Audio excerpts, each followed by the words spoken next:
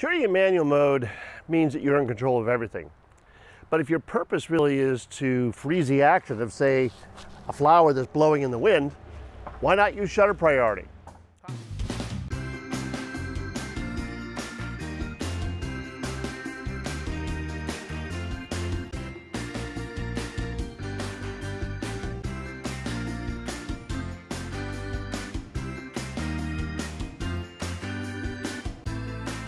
Hi, this is Bill Booz, and this is episode 16 of Learning Photography. This is a follow-up to episode 15 where we took a look at aperture priority as our main control. We're switching to the S on our camera or TV on Canon cameras for time value, uh, which means that when we're shooting in shutter priority, we're choosing the shutter speed we want and we're letting the camera choose the aperture. Uh, and unless you have your camera set to auto ISO, which I don't normally recommend, it also means that you, are you need to set your um, ISO. So as you can see, I'm outside for this, so I'd like you to go outside for this exercise. Uh, in a reasonably bright area, I'm, I'm in a, a, very bright area right now, and we've got some beautiful peonies, or as they say in Central Virginia, peonies, uh, blossoming. And um, we're gonna take some pictures of these and hopefully some wind will kick up so that we can try to stop them from blowing. Um, so you're outside, set your ISO to uh, the lowest you can use. Uh, mine's 200, so go to 200 or 100 depending on your camera. And uh, set your camera to S or TV and set your shutter speed. Now what we're going to try to do is freeze this flower as it blows in the wind. Now if you don't have a flower, uh, gets maybe you have a friend that can wave uh, and wave some, make some wind and make the flower move. Uh, that's not doing it, but perhaps you can do it with yours. Or a friend jumping, that's another good exercise. Something jumping off of uh, a, uh, a ledge or something, oh, there's some good wind. And, um, and let's try some pictures. So I've got my camera on S. am uh, using an Olympus uh, OMD 5 uh, Mark II. And I've set my uh, shutter speed to 1 125th of a second, so 1 over 125. My ISO is set to 200. And as I take a, a uh, reading on the, on the flower, so I'm going to try, uh, so I got it in focus, and it's, telling, it's giving me an aperture of f8. That's good. It's going to give me some depth of field. Maybe in this case, I might want the other flowers to be out of focus, but this is what it's, okay, we had some wind, so let me, let me shoot that. Okay, you can see how the flower's moving. Uh, oh, it's moving a lot now. Um, so let's take another one. And there we go. So let's take a look at that picture. It actually did, at 1 125th of a second, freeze the flower. Uh, so that's pretty good. Now, what if I want to show the blur? Well, then I'm going to go the other direction. I'm going to use a slower shutter speed. So 1 125th of a second was a fast shutter speed, which means the shutters only open a very limited amount of time to allow light to come through. Um, so I'm going to go now to, uh, I purposely want to blur.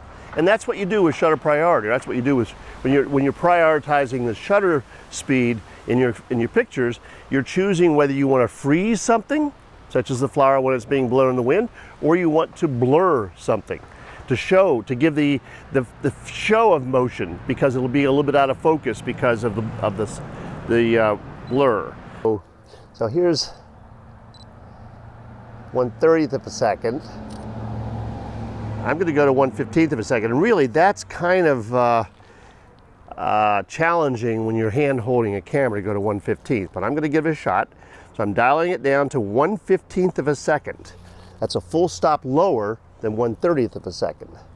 So now any little bit of movement should show up as a blur. It's giving me an f13 as an aperture. And there we got some blur. Okay, so take a look at that picture and let's see how that looks. The priority modes really are useful when that's specifically what you want to do. You want to freeze something or you want to uh, let it blur a little bit. Um, and then you're only worrying about the shutter speed. You're not worrying about the other two things unless you end up with a lot of light or not enough light. So um, that's, uh, that's how I use shutter priority. Okay, Uh, so that's shutter priority. And, uh, but what are the advantages and disadvantages, just as we uh, went over with aperture priority? To either freeze the motion or blur the, you know, blur the motion to give the idea of, of motion in your, in the resulting image, then shutter speed's the, the way to go. Um, if when you are shooting your pictures, as I did for years when we were traveling in aperture priority mode, and you find that many of your images have a little bit of a blur to them or they're, they're, they're just not sharp enough, then using shutter priority and using a higher uh, shutter speed, which is what, as I said before, is what I do. I uh, when when I travel, if I'm gonna if I'm just kind of running around and want to take pictures, I'll very often put it in shutter priority, auto ISO, and that way I and set it at one over one twenty fifth of a second, and that way I'm pretty certain, this says we got the flower to freeze, that I'll be able to freeze the action. But what are the disadvantages? Well, the biggest disadvantage is that when you are you shooting in shutter priority and there's not a whole lot of light, the camera will tend to go down to a, to a very wide open aperture, which is going to give you a very shallow depth of field. So if you're trying to take pictures of a group of people, even two or three, who are not in the same focal plane, um, and the aperture goes to a really wide open aperture so that it can achieve a good, uh, a well exposed image, then you're in trouble. You're going to have, you know, the guy in the back row is going to be out of focus or whatever. Usually your camera will uh, flash the, the aperture number if it's not able to get a bigger aperture. Now, that means that, that it can't get any more light and your shutter speed is just too fast given the, the, uh, the lens you're using and using and your camera. Uh, so one of the reasons that I don't like to use shutter priority or aperture priority rather is that it causes uh, my camera often to go to a very slow shutter speed, whereas aperture priority uh, compensates for that.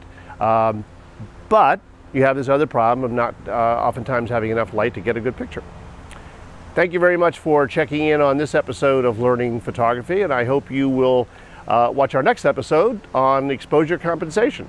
And please subscribe to the channel. And if you found this useful, give it a like. And I look forward to having you visit other episodes of Learning Photography. Good day.